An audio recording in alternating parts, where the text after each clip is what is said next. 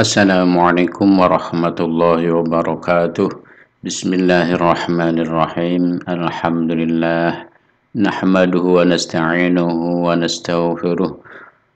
Allahumma salli ala sayyidina Muhammadin wa ala alihi wa ashabihi ajma'in.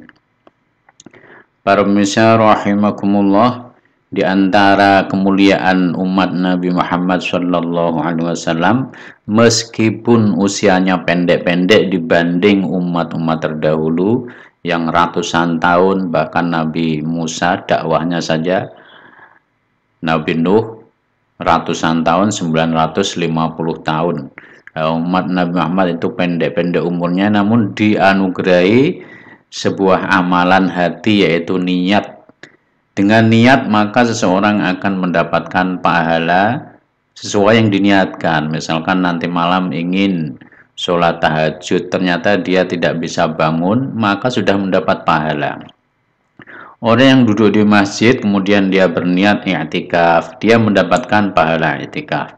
Niat menunggu sholat jamaah, dia juga mendapatkan pahalanya. Niat menghindari menghindarkan diri dari maksiat, dari dosa juga mendapatkan pahalanya itu. Demikian juga dengan niat misalkan untuk mencari ilmu, mendengarkan ceramah, tafakur dan lain sebagainya, mendapatkan pahala dari apa yang ia niatkan sehingga niatul mukmini khairun min amalihi. Niat seorang mukmin, orang yang beriman seperti kita itu lebih utama dibanding amalnya hadis riwayat Imam Al-Baihaqi. Jadi demikian penting, demikian besar peran niat dan niat itu adanya di dalam hati. Kemudian para ulama, para guru kita mengajari untuk talafut bin niat yaitu melafalkan niat agar hati terdikte, terbimbing dengan lisan kita. Nah, ketika seseorang misalkan pada hari Senin atau hari Kamis dia ingin berpuasa, maka boleh melafalkan niat sebagaimana yang nanti akan kita sampaikan. Jadi agar mendapatkan pahala berlipat. Namun sebelumnya manfaat fadilah agung dari puasa di hari Kamis maupun di hari Senin itu adalah puasa yang selalu dilakukan oleh Nabi Muhammad SAW. Imam Tirmidzi dan Imam Ahmad meriwayatkan sebuah hadis. Bismillahirrahmanirrahim. Kana Nabi sallallahu alaihi wasallam yataharra shaumal isnaini wal khamis. Nabi sallallahu alaihi wasallam selalu menjaga puasa Senin Kamis. Fadilah lain berpuasa pada dua hari tersebut, baik itu hari Seninnya atau hari Kamisnya, adalah hari Senin dan Kamis ini merupakan hari distorkannya amal manusia. Jadi dicatat oleh para malaikat, kemudian, distorkan kepada Allah Subhanahu wa Ta'ala. Nabi Shallallahu Alaihi Wasallam pernah ditanya mengapa beliau selalu berpuasa pada hari Senin dan Kamis.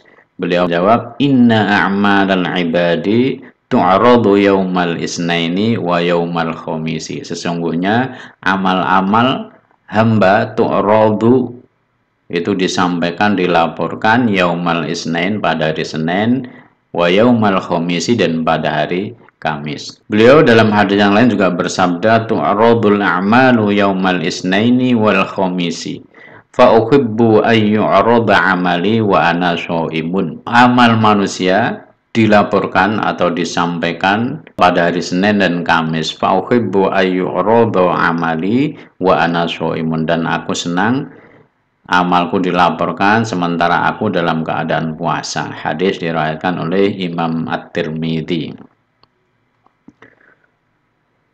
Lalu manfaat lain pada Senin dan Kamis adalah puasa hari di mana Allah membuka pintu surga. Imam Muslim meriwayatkan sebuah hadis tuftahu abwabul jannati yaumal isnaini wa yaumal khamisi fayufaru likulli abdin la yusyriku billahi syai'an illa rajulan kanat bainahu wa baina akhihi syahna'u Sesungguhnya pintu-pintu surga dibuka pada hari Senin dan hari Kamis. Semua dosa hamba yang tidak menyekutukan Allah dengan sesuatu akan diampuni kecuali bagi orang yang antara dia dan saudaranya terdapat kebencian dan perpecahan. Lebih lanjut hari Senin adalah merupakan hari kelahiran dan kewafatan baginda Rasulullah Shallallahu Alaihi Wasallam. Nabi Shallallahu Alaihi Wasallam pernah ber, wasuila an saumi yaumil isnaini qala dzaka yaumun wulidtu fihi wa yaumun bu'ithu au unzila alayya fihi Nabi ditanya soal puasa pada hari Senin beliau menjawab pada hari itu aku dilahirkan dan wahyu diturunkan kepadaku hadis riwayat Imam Muslim Demikian adalah e, manfaat faudilah agung dari puasa Senin dan Kamis terlebih-lebih jika dilakukan pada bulan Rojab. Hujjatul Islam Imam Al-Ghazali dalam kitab beliau Ikhya Ulumuddin beliau berkata Shawmu yaumin min syahri haramin afdalu min thalathina min ghairihi wa shawmu yaumin min ramadana afdalu min salatina min syahri haramin. Satu hari berpuasa pada bulan haram, bulan haram ada empat, yaitu Dhul Qa'jah, Dhul Qa'dah, Dhul Hijjah, Muharram, dan Rojab. Lebih utama dibanding dengan berpuasa 30 hari pada bulan selainnya, dan satu hari berpuasa pada bulan Ramadan lebih utama dibanding 30 hari berpuasa pada bulan haram. Nah, sekarang kita akan belajar bagaimana cara niat puasa hari Kamis, hari Senin di bulan Rojab, disertai dengan Latin dan terjemahannya sebagaimana yang diminta oleh sebagian pemirsa untuk menyertakan Latinnya. Bismillahirrahmanirrahim. Nawaitu sawma syahri rajaba wa sawma yaumil isnaini lillahi ta'ala. Nawaitu sawma syahri rajaba wa sawma yaumil isnaini lillahi ta'ala. Ini yang latinnya. Nawaitu Sawma syahri rajaba. Wa sawma yaumil ithnain lillahi ta'ala Aku niat puasa bulan Rojab dan puasa hari Senin karena Allah yang maha luhur. Sekali lagi, nawaitu sawma syahri Rojaba wa sawma yaumil isnaini lillahi ta'ala la latenya nawaitu sawma syahri rajaba wa sawma yaumil isnaini lillahi ta'ala. Aku niat puasa bulan rojab dan puasa hari Senin karena Allah yang maha luhur. Apakah boleh niat ini dibalik, ditukar? Senin dulu baru Recepnya boleh.